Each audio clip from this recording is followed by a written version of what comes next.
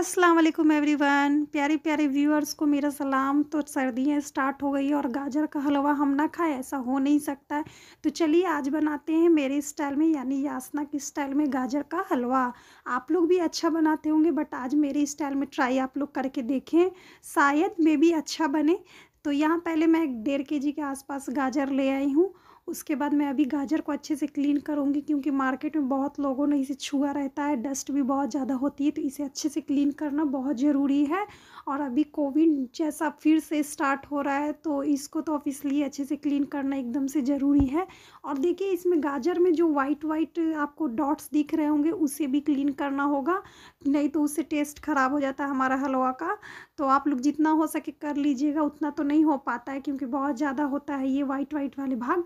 तो वो तो उतना नहीं निकल पाएगा, लेकिन जो भी हो थोड़ा बहुत निकल जाना चाहिए। और गाजर जब भी अगर आपको काटना हो ना तो बीच से भाग काटिएगा। इसका इसलिए ये होता है ना कि इससे गुठलियाँ आसानी से निकल जाती है। गुठलियाँ एकदम निकालना ज़रूरी है, इसलिए क्योंकि गाजर का हलवा हमारा अच्छा फिर नहीं बन पाता है। इसमें चीनी बहुत लग जाता है, क्योंकि मीठा नहीं हो पाता है। तो ये जब गुठलियाँ आप निकाल देंगे ना तो आपको चीनी भी कम लगेगा और टेस्ट भी अच्छा होगा। ये सीक्रेट है मेरा, आप लोग भी इसे देखिएगा, ट्राई करके। तो देखिए, यहाँ मैं इसे निकालना बहुत आसान है, कुछ करना नहीं है। बस साइड साइड का पार्ट्स आपको गाजर के हटा लेने बस बीच से गुठलियाँ बच जाएगी, उसे आपको फेंक देना है। बस सिंपल बात, क्योंकि उसमें कुछ भी नहीं होता है। तो देखिए, मैं कितने आसानी से निकाल ले रही हूँ। गाजर का हलवा दो तरह का बनता है, एक तो आप कद्दूकस करके बना सकते हैं और एक अगर आपको टाइम नहीं है, जल्दी बनाना है, समय आपके पास नहीं है। तो आप ऐसे छोटे छोटे पीस में इसको काट ले ये एकदम फास्ट बनता है तो देखिए यहाँ मैंने गाजर को काट लिया और अच्छे से धो लिया है और अब इसे मैं कुकर में ट्रांसफ़र करूँगी। सारे गाजर को कुकर में ट्रांसफ़र कर देती हूँ। देख सकते हैं, गुठलियाँ बिल्कुल भी नहीं मेरी दिख रही होंगी। अगर थोड़े बहुत एक दो में रह गए होंगे तो डोंट माइंड आप लोग कोशिश करिएगा कि सारे हटा लें। तो चलिए, मैंने सारा गाजर ट्रांसफ़र कुकर में कर दिया है। अब उसके बाद मैं इसमें हाफ़ के जी पूरा half K G milk add करूँगी। आप लोग चाहें तो ज़्यादा भी ऐड कर सकते हैं, बट डेढ़ के जी गाजर है, उसके हिसाब से half K G milk sufficient है। तो यहाँ मैंने हाफ़ के जी दूध ऐड कर लिया है, उसके बाद इसे अच्छे से हिला लेंगे। तो हिला लेंगे तो ये अच्छे से सब बैठ गया है, गाजर इसमें सेट हो गया है। फिर उसके बाद इसमें मैं चार से पाँच बिसेल आने दूँगी। अगर चार से पाँच बिसेल में हो गया है तो ठीक है, नहीं तो एक दो पीसल और ज़्यादा लगा लेंगे। तो चलिए अब खोल करके देखते हैं हमारा गाजर अच्छे से पका है या नहीं। देख सकते हैं। तो चलिए अब इसे चेक करते हैं। तो चेक करने के लिए आप हाथ से भी कर सकते हैं या चम्मच से भी कर सकते हैं।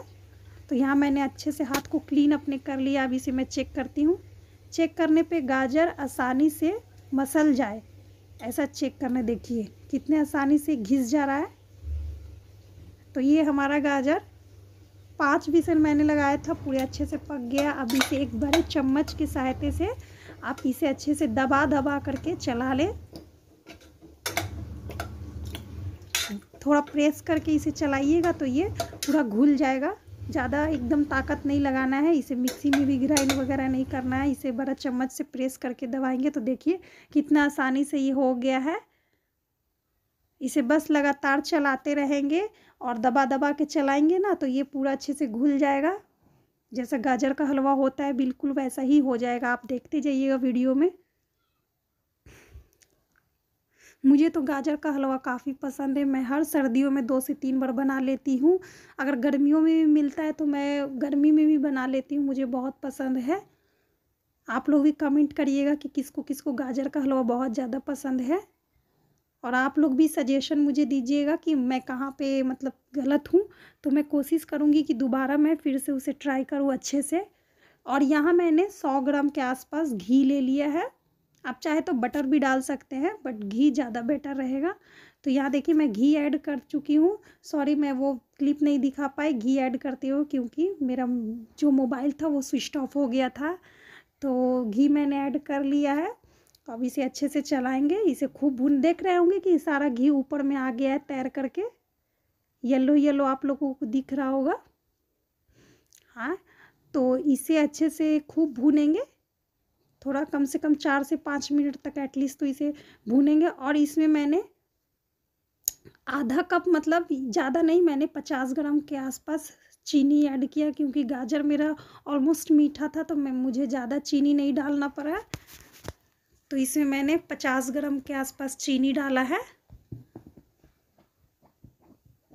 उसके बाद अब इसमें हम लोग डालेंगे थोड़ा सा ड्राई फ्रूट्स। ड्राई फ्रूट्स को मैंने मिक्सी में ग्राइंड कर लिया था, क्योंकि बड़ा बड़ा साइज़ का मुझे अच्छा नहीं लगता है खाने में तो मैंने इसे थोड़ा बारीक ग्राइंड मिक्सी में कर लिया था ड्राई फ्रूट्स। ड्राई फ्रूट्स में आप लोग कुछ भी डाल सकते हैं, वो आपके ऊपर है। अब इसे अच्छे से चला लेंगे और इसे दो से चार मिनट और भूनेंगे। तो देखिए, सारा मिल्क जो है वो सूख चुका है। थोड़ा सा और इसे सुखाएँगे।